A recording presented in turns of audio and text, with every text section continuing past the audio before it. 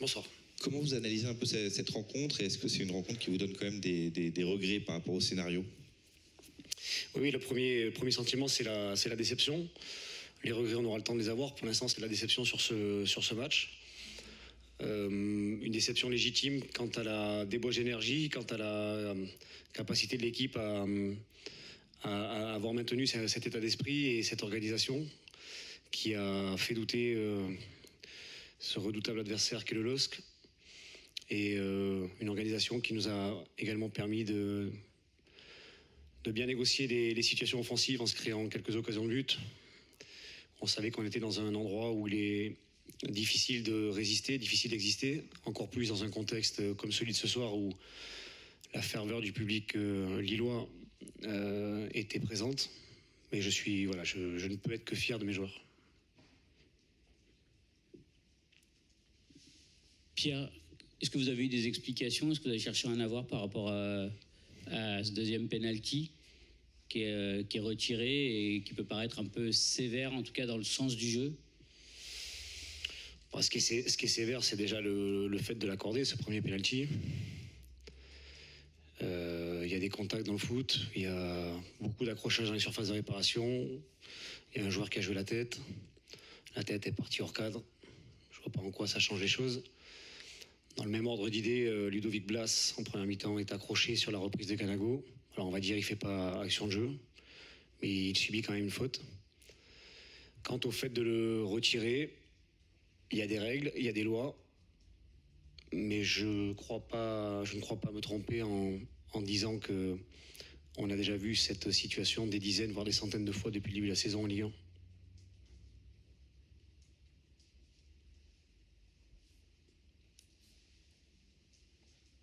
Au-delà de ça, euh, déjà vous êtes toujours en vie.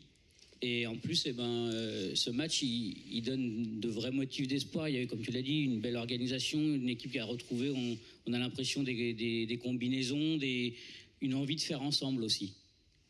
Oui, mais c'est le plus important. Alors non, vous allez me dire, le plus important, ce sont les points.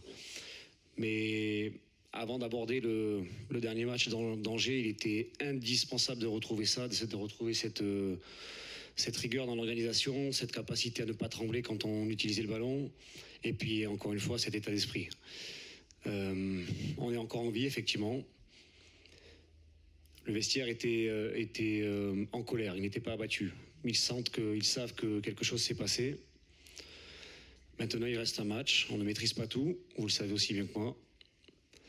Maintenant, j'ai rappelé, rappelé, aux joueurs que un scénario que l'on pourrait envisager de probable, en tout cas très largement envisageable au vu de la saison de chacune des équipes, peut très bien arriver le week-end prochain, à savoir que Auxerre ne batte pas Lens, qui était la meilleure équipe à l'extérieur, et que nous battions Angers. Je ne doute pas un instant que nous ferons ce qu'il faut pour battre Angers, et je doute encore moins que cette euh, très belle équipe de Lens qui nous a enthousiasmés depuis le début de l'année fera euh, honneur à son rang.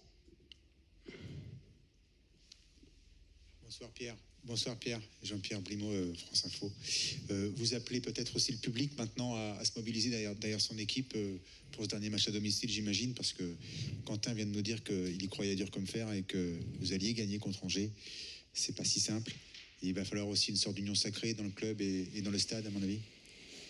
Oui, évidemment. Euh, je, je crois que le public, euh, le, public n'a jamais euh, lâché l'équipe. Le public et ses plus fervents supporters ont peur de l'issue, mais ils n'ont jamais rien lâché. Mais il est évident que, voilà, quand je vois encore l'ambiance ce soir, quand j'observe l'ambiance qu'il pouvait y avoir à Auxerre le week-end dernier contre Paris, il est évident que dans ces moments-là, le public a a une importance capitale. Euh, faisons, j'ai envie de dire, en tout cas, j'ai envie de leur demander de faire table rase un peu des frustrations de l'année, des frustrations peut-être des autres années. Concentrons-nous sur euh, tous, effectivement, euh, sur cette dernière rencontre. L'union sacrée, vous l'avez dit, l'union sacrée. On, doit, on se doit de faire nous tout ce qu'il faut, tous les acteurs. évidemment, d'abord en premier lieu les joueurs, le staff, et tous les acteurs qui souhaitent voir le, club se maintenir en Ligue 1. rapport à vos, vos choix de départ, vous avez euh, changé de système euh, pas mal de fois depuis votre arrivée, euh, changé de, de joueur. Est-ce qu'aujourd'hui, ce que vous avez vu, ça vous donne envie de, de maintenir peut-être cette équipe aussi sur le dernier match pour avoir confirmation?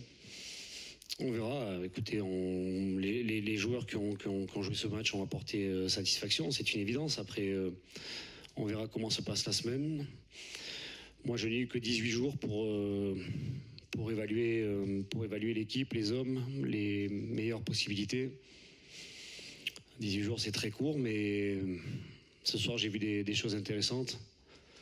On parlait d'état d'esprit et j'ai vu, des- vu des gens qui étaient... euh, combatif et pas craintif, euh, organisé mais pas bloqué.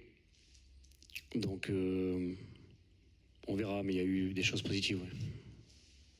Il y a notamment euh, bah, le repositionnement dans son poste de prédilection de, de Quentin, euh, qui est récompensé par ce but, mais pas que. hein. On, a- on a vu que ça avait contribué aussi à, à fluidifier un peu le jeu au-delà du retour de, de Pedro. Oui, oui, il y a tout un tas de tout un tas d'éléments. Effectivement, Quentin, euh, pour bien le connaître depuis longtemps, euh, on sait tous très bien que c'est un joueur euh, qui est bien plus à l'aise un petit peu plus haut sur le terrain, que ce soit sur un côté ou dans l'entrejeu.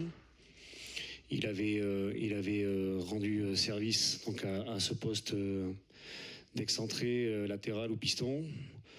C'était compliqué de tout chambouler dans un premier temps, mais hum, les matchs précédents m'ont apporté la, la confirmation que, que Quentin Merlin est, est bien le joueur qu'on a formé. Est-ce que tu peux envisager euh, une forme de préparation un peu différente, c'est-à-dire peut-être une mise au vert ou aller euh, quelque part un petit peu pour euh, créer une bulle autour de, de ce groupe avant le dernier match? Je sais que ça s'est fait par le passé. Ça s'est Ouais, je sais passé. pas. J'ai, je, je sais pas. J'ai pas, j'ai pas pour l'instant réfléchi à cette éventualité. On, on, on fera de toute façon euh, tout ce qui est euh, le, le mieux pour les, pour les joueurs. J'aime bien aussi euh, avoir ce management participatif. Je n'aime pas être trop. Bien sûr que je suis le décisionnaire, mais je ne rentre pas dans un management autoritariste et j'aime bien faire participer. euh, au moins les cadres de l'équipe à toute, toute décision, parce que euh, le plus important, c'est que eux le sentent et- et le ressentent comme quelque chose de positif.